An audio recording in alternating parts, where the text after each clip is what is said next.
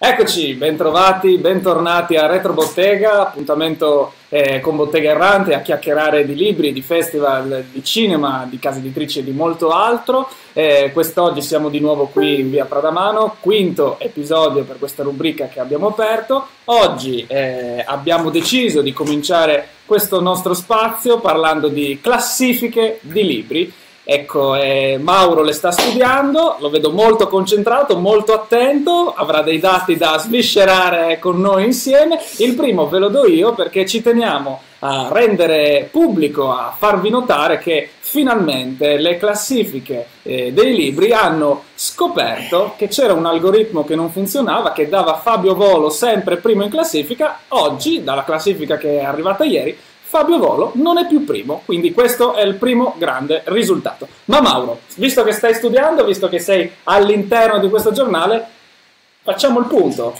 Abbiamo preso la lettura di, questo, di questa settimana, l'inserto, insomma, la rivista del Corriere della Sera, eh, però abbiamo anche fatto un gioco, no? abbiamo, sì. abbiamo, preso anche la classifica eh, di un anno esatto fa. Allora, quali sono le, le, le, le, considerazioni che si possono fare, a che punto siamo dopo un anno. Mm-hmm. E, voglio solo sottolineare il fatto che Fabio Volo non è in discesa, è proprio un crollo. Un crollo? Dal primo è andato al nono. Ah, proprio un crollo strutturale, sì, una debacle. Una debacle. Infatti è veramente una crisi nerissima il libro, quindi adesso mh, vediamo cosa farà. Provate a fare il nuovo libro. Sì, probabile, probabile. Io partirei Partiamo. Sì, dici chi è in, in, testa questa classifica, sveliamo. Al, pri- al, primo posto della top 10 generale dei libri più venduti nella settimana è Francesca Cavallo e Elena Faville, Storia della Buonanotte 2. Allora mi chiedevo Alessandro, chi era primo in classifica esattamente un anno fa? Aspetta che controllo, un anno fa era esattamente primo Storia della Buonanotte per bambini ribelli 1. 1. Quindi è come se in un anno questo cerchio si va a chiudere, i bambini e le bambine provano a dormire e vediamo se ce la fanno. Non solo, quello che era primo un anno fa, adesso, adesso. è settimo, quindi insomma un libro che mm. non, diciamo che non sta andando malissimo. No, direi di no, pare, non credo si lamenteranno. Ma proviamo però ad addentrarci all'interno di questa classifica e scopriamo quelli che sono gli editori rappresentati da questa top 10. Per cui ti chiederei di, di fare una scossa. Ad esempio, al primo posto Mondadori. Mondadori, benissimo. Al secondo posto abbiamo De Agostini. De Agostini. Al terzo posto Mondadori. Ah, di nuovo. E al quarto Mondadori. Al quinto Mondadori. Al sesto Newton Conto. Così, per variare un po' la minestra. Al settimo, Mondadori. All'ottavo, Garzanti. Ah, al nono, Mondadori. E al decimo, Mondadori. Beh, mi pare di capire che un po' tutta la, l'editoria italiana è rappresentata da sì, questa diciamo classifica. Che Mondadori non dovrebbe in questa settimana avere una crisi di fatturato. No, ecco, penso che... Insomma, dovrebbe tenere il, il bilancio. Ma una, un anno fa invece eh, un anno fa Mondadori era, eh, crisi nera. Era, erano solo quattro libri nella top era 10. forse il post ehm, la post fusione con Rizzoli sì, so. il punto più basso probabilmente sì, solo quattro storia sì sì quattro penso abbiano patito la fame eh, in via Segrate devono essere momenti difficili momenti veramente difficili abbiamo detto quelle che sono le case editrici andiamo alla scoperta invece di quelli che sono gli autori per cui abbiamo già citato Cavallo Favilli che guidano eh, questa top 10. Al secondo posto abbiamo... Abbiamo Alessandro Milan, il noto giornalista di Radio 24. 24. Al terzo abbiamo... La nota conduttrice eh, televisiva Daria Birgnardi. Al quarto... Sofia Viscardi. Mi sfugge chi sia Sofia Viscardi. È una notissima youtuber. Ah, hai fatto delle ricerche. Ho fatto una ricerca prima di fare questa diretta, insomma mi sono Sei informato. un po' documentato. Sì, eh, quindi la youtuber è quarta in classifica. Molto bene. E quinto invece è uno scrittore? Iris Ferrari. La scrittrice Iris Ferrari? No, è una, è una youtuber. Ah, anche, anche lei. Sì, sì, Beh, invece al sesto posto? È al sesto posto il, il prezzemolino, il grandissimo Alan Friedman. Alan Friedman che un po' nelle top 10 dove lo metti lui sta. Esatto, Alan Friedman. C'era anche l'anno scorso, addirittura eh. era terzo con questo libro eh, Questa non è l'America, quest'anno invece. È primo nella saggistica con 10 cose da sapere sull'economia italiana. Quindi dagli Stati Uniti è andato a specializzarsi sul nostro paese e pare che gli abbia portato fortuna. Andiamo avanti. Poi andiamo al settimo posto con Francesca Cavallo e Elena Favilli. Eh, Abbiamo già... Buonanotte. Sì. All'ottavo c'è Andrea Vitali Andrea Vitali. Un'incursione, perché sì. probabilmente il primo scrittore. Primo scrittore vero e proprio, eh, proprio questa top 10 dedicata alla scrittura, sì. alla letteratura. Quindi è veramente una mosca bianca. E il, il nono posto? Fabio Volo. Che è scrittore? E beh, un notissimo scrittore. Il decimo eh, adesso la pronuncia non so. Ma io credo che tu possa lanciarti nella pronuncia. E io, io, Moyes. che deve Forse essere, era meglio di no. Che sembra essere questa scrittrice inglese di cui io non avevo coscienza. Bene, questa era la top 10 generale di come sta andando l'editoria in Italia. Ci sono però altre cose che vogliamo sottolineare. Mauro ci teneva particolarmente. Sì, io volevo solo sottolineare il fatto che è un giorno triste oggi perché esce dalla top 10 della narrativa italiana questo bestseller che, che Francesco ma scusate. Che Chi è? Francesco Sole? Esatto. E che è difficile anche insomma Francesco Sole è un notissimo scrittore sì, notissimo esatto e che ho sentito hashtag ti amo. Culturale. Hashtag ti amo hashtag poesie che purtroppo dopo insomma settimane di cui era tra l'altro noto che era pubblicato da Mondadori. Bene. Chiudiamo questa... No, ma io credo che tu volessi anche dire delle cose sulla, sulla, sull'editoria varia. Sì, la varia, è, beh, la varia è sempre simpatico perché al di là della youtuber Iris Ferrari continuo a in grossa difficoltà continuo io perché dopo Iris Ferrari c'è Adriano Panzironi con Vivere 120 anni, questo grandissimo uomo eh, di cultura, noto soprattutto per aver eh, proposto di curare l'Alzheimer grazie alle arbe, erbe aromatiche, per cui rosmarino, timo in giardino, mentre in libreria e sugli scaffali della propria libreria Vivere 120 anni Adriano Panzironi poi si va avanti con Michel Hunziker e molte altre e, ecco, e altri grandi. Mauro si è ripreso nel frattempo anche perché adesso abbandoniamo quella che è la top 10 di questa settimana per invece andare a esplorare uno dei libri di Bottega Errante che sembra nato apposta per andare a spodestare Fabio Volo nelle grandi classifiche eh, dell'editoria e allora Mauro chi sì, è? È, uno, è il terzo libro di, di Bottega nel 2018 eh, si tratta del prezzo dell'equilibrio, collana Camera con vista del grande scrittore Medeo Giacomini. E, è un grande onore ospitare nel catalogo di, di Bottega questo, questo, autore che un po' eh, prosegue praticamente nella, nell'idea che abbiamo insomma, della, della narrativa dopo, no, dopo Elio Bartolini e Amedeo Giacomini e, e, Tito Maniaco. E Tito Maniaco abbiamo uh, pubblic- voluto pubblicare. È difficile condurre le dirette così, pare che Mauro Daltini non ce la faccia. E dicevamo, lo diceva lui, questo è il nuovo libro edito da Bottega Errante che sarà in libreria dal 21 marzo e va un po' a completare questa idea di andare a riscoprire i grandi, i grandi classici della letteratura friulana e in generale della letteratura del nord-est. In questo libro particolare Amedeo Giacomini eh, va ad affrontare degli anni scomodi, anche se vogliamo, per quello che era il panorama culturale, il panorama storico del Friuli, ma in generale dell'Italia, lo fa attraverso una storia e attraverso il rapporto di due fratelli e il loro percorso all'interno di questo, di questo romanzo. Tra l'altro il libro verrà lanciato ufficialmente a Codroipo, patria, eh, paese eh, di Amedeo Giacomini, verrà lanciato il 22 marzo in una serata al caffè letterario Codroipese in cui ci saranno oltre a Mauro anche Maurizio Mattiuzza e aiutami anche chi parteciperà. E Paolo, Paolo Pattui, Maurizio ha curato la prefazione di questo libro e, e, e quindi sarà presente insomma, insieme a Paolo che poi è il curatore insieme a me eh, di, questa, collana. di, questa, collana Microcosmic che, che aveva ospitato Maniaco e Bartolini. E... Faccio un'incursione io, lo anticipo, sì. anche se lo avremmo detto successivamente a proposito di microcosmi. Proprio oggi, tra poco, alla fine di questa diretta, poi io mi sposterò a Manzano eh, assieme a, a, Paolo Medeossi ed Angelo Floramo perché ci sarà un incontro organizzato dalla biblioteca proprio su Tito Maniacco ed Elio Bartolini e sui libri che abbiamo pubblicato l'anno scorso.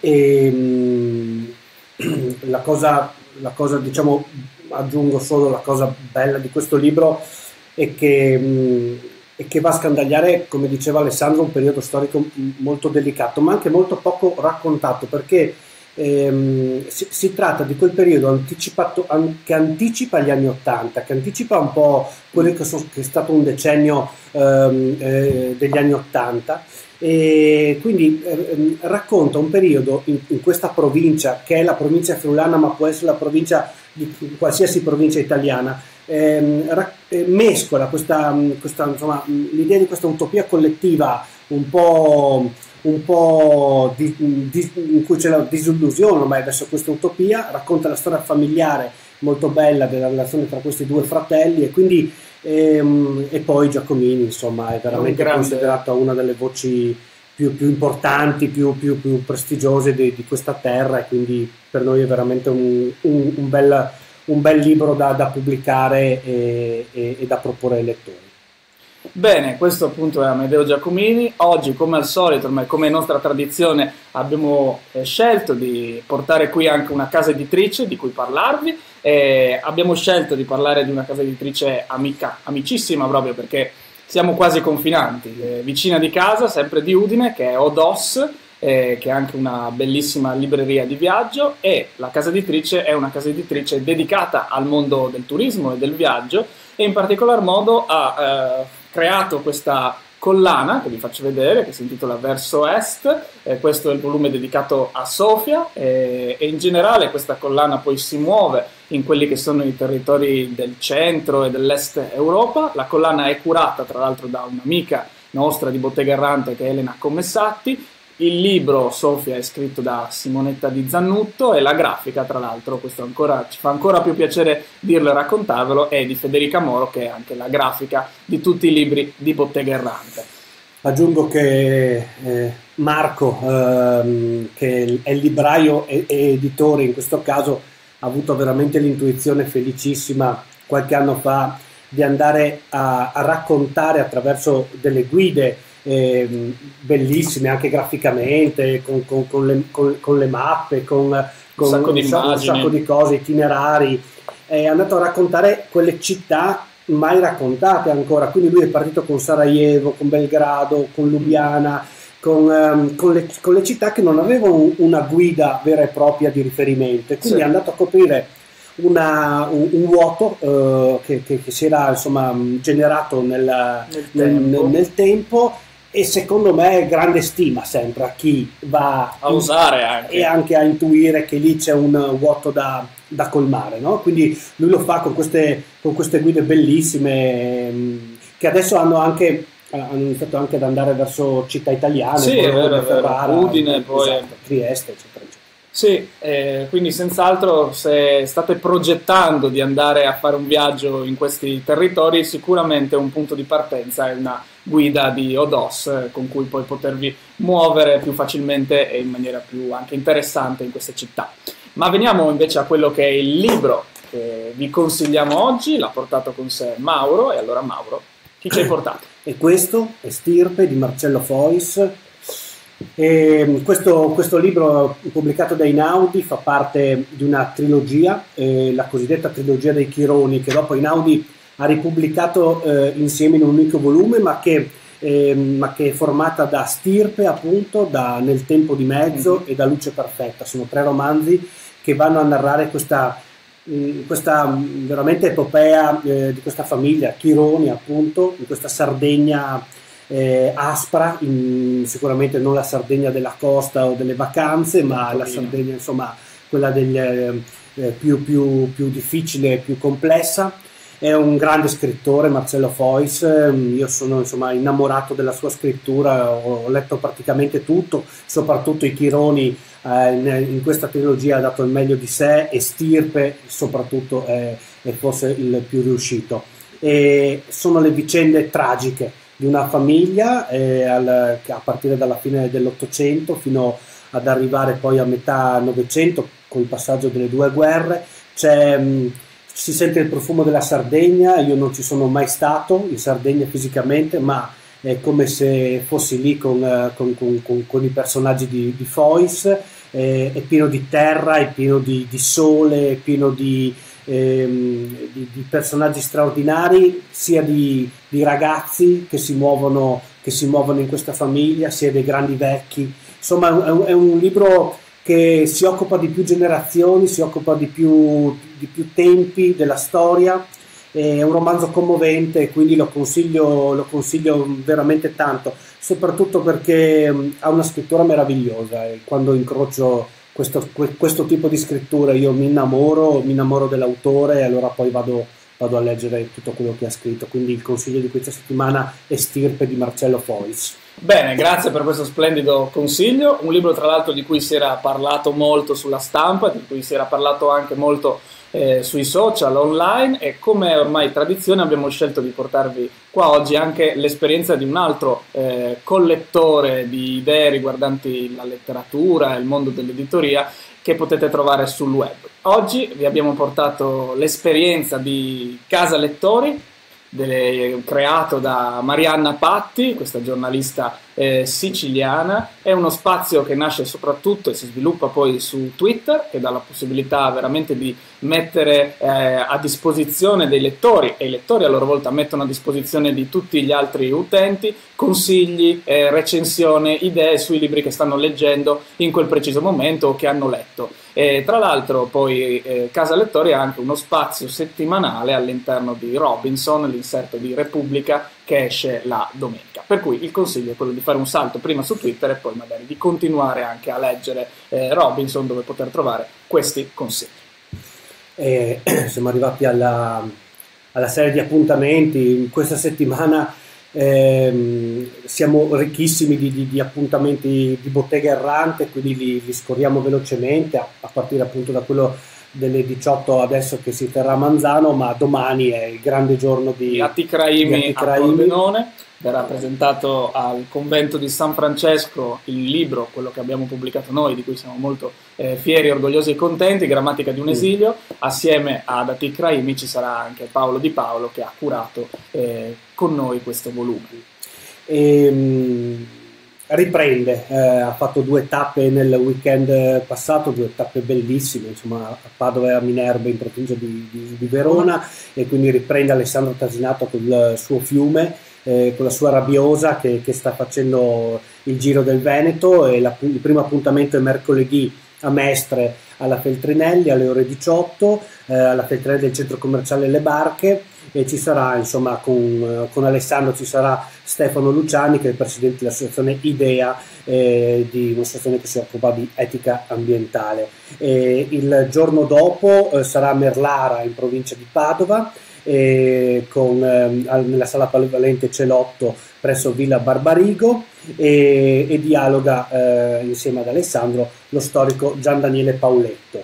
E sempre poi va nel weekend eh, La Rabbiosa e arriva a Borgoricco, sempre in provincia di Padova, alla, all'interno della 31esima edizione eh, della mostra del libro e ci sarà Nicola Masetto, Nicoletta. Eh, Nicoletta Masetto, giornalista, a dialogare con Alessandro e poi per finire domenica Montagnana, a Montagnana, sempre in provincia di Padova. Ti segnalo un altro, scusa se ti interrompo, appuntamento dedicato ad Atik Raimi invece giovedì eh, 15 marzo perché ci sarà a Pordenone la lettura scenica proprio tratta, tratta dal nostro libro Grammatica di un esilio. Questi un po' gli appuntamenti di Bottega Errante per questa settimana, siamo ormai praticamente in chiusura. Come sempre chiudiamo con... Eh il consiglio, il, l'idea che ci, che ci suggerisce eh, Alessandro per passare una serata al cinema. Esce giovedì questo film che si intitola Oltre la notte con protagonista Diane Kruger e diretto da Faita Kin, un film che era stato a Cannes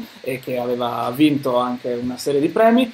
E, è un film ambientato in Germania nel preciso momento in cui avvengono questa serie di attentati dovuti a una formazione ha una formazione neonazista ed è la storia di questa donna e madre che un po' si confronta con questo mondo.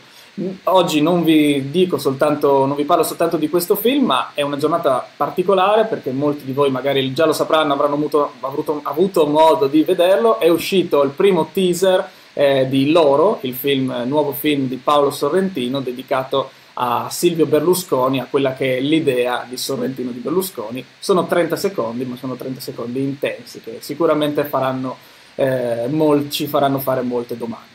Per cui andate a pescarvelo, andate al cinema, seguite i consigli di Mauro per la lettura. Noi ci vediamo lunedì prossimo in diretta dalla sede del Messaggero Veneto Scuola di Pordenone, dove faremo una chiacchierata con un gruppo, un folto gruppo di studenti e giovani giornalisti e ci metteremo un po' a nudo. Mm. Non eh, letteralmente, fortunatamente, ma racconteremo un po' quella che è la storia della nostra piccola casa editrice e un po' sveleremo quello che è il mondo eh, dietro a quello che cerchiamo di fare. Per cui seguiteci, alla prossima. Grazie. Ciao, buonasera.